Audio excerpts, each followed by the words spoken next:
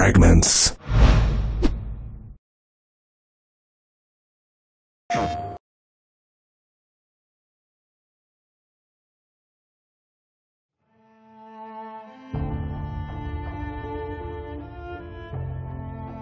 Someone asked me once if I remembered how it all went down.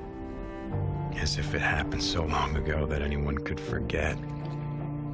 So, yeah, I remember. I remember when our homes and our towns turned into graveyards. When the wilderness became our only hope for survival.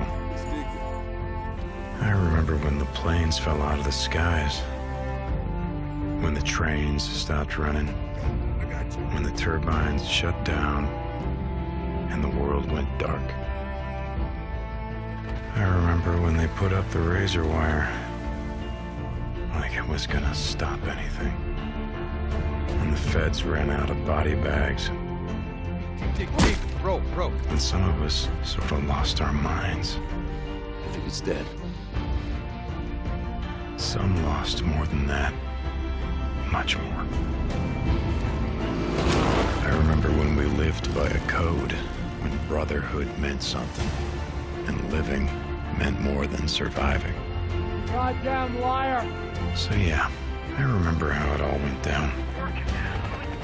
Uh, I don't give a damn about any of that. You know what I remember most?